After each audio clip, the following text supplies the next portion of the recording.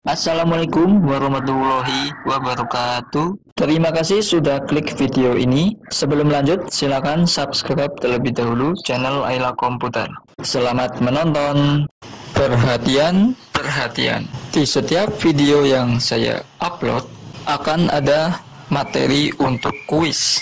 Jadi, simak videonya sampai selesai ya, agar kalian bisa menjawab pertanyaan kuis di hari berikut.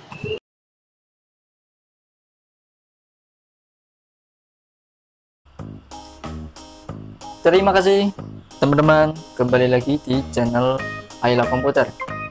Di video kali ini saya akan melanjutkan video yang kemarin. Video tentang menyambungkan printer ini ke komputer atau laptop. Dan yang sekarang adalah paper jam ya. Jadi printer ini seakan-akan pada saat dinyalakan normal. Tapi pada saat kita mau mencetak ya saya coba fotokopi saja seperti ini otomatis dia akan gerak ya. Seolah-olah akan menarik kertas. Tetapi kertas di sini tidak tertarik sama sekali. Kita lihat fokus pada kertasnya saja. Ya oh malah sebelum kertasnya bergerak ataupun rollernya bergerak ini dia sudah kuning seperti ini. Ini tandanya paper jam. Ya. jadi kita harus membongkar printernya terlebih dahulu karena kemungkinan besar yang rusak itu adalah sensornya ataupun tuas sensornya. Ya, kita akan cek dengan cara membongkarnya terlebih dahulu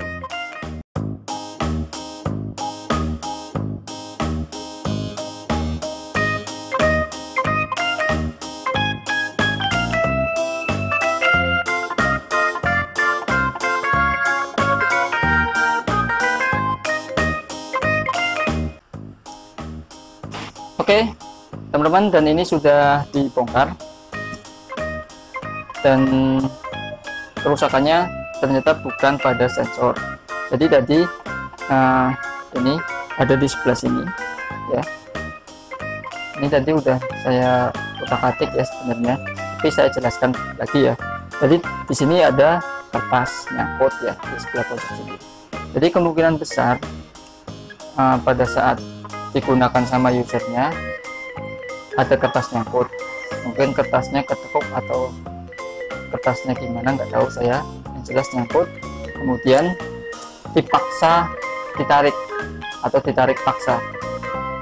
Kalau kertas nyangkut kemudian ditarik paksa itu menyebabkan mekaniknya rusak atau jadi nggak bisa narik kertas ya. Jadi kita fokus pada bagian mekanik yang sebelah kanan sini. Jadi tadi ini macet ya nggak bisa jalan. Nah, jadi tuas yang ini nah tuas yang ini nih. Sebentar, yang ini putih ya. Ini yang nongol bisa nongol bisa enggak. Nah, ini tadi macet. Jadi tinggal di saja biar lancar lagi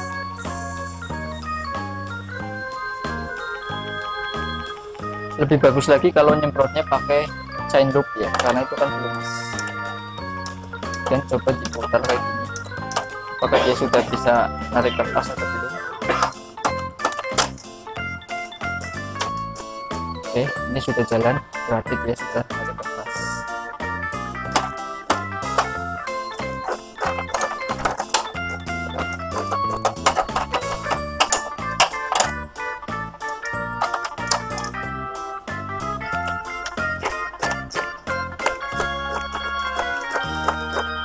ini saya kembalikan dulu ya ke posisi semula.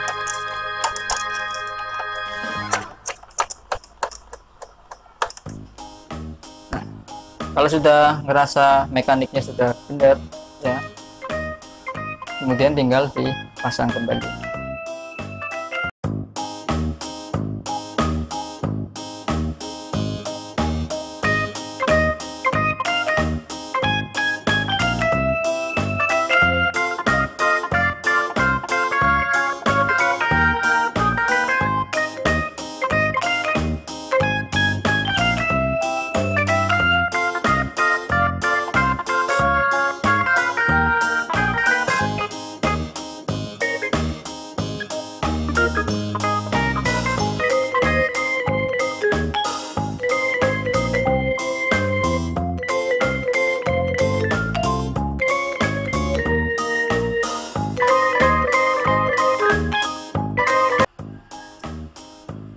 Oke, teman-teman, ini sudah saya rakit kembali dan mau saya coba lagi ya. Sekarang saya mau fotokopi brosur saya sendiri. Kita coba apakah sudah bisa narik kertas dan tidak paper jam lagi. Oke, saya copy warna ya.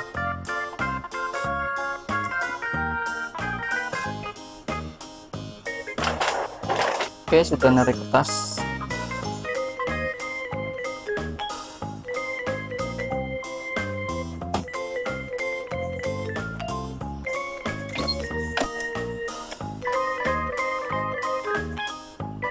Dan hasilnya bagus.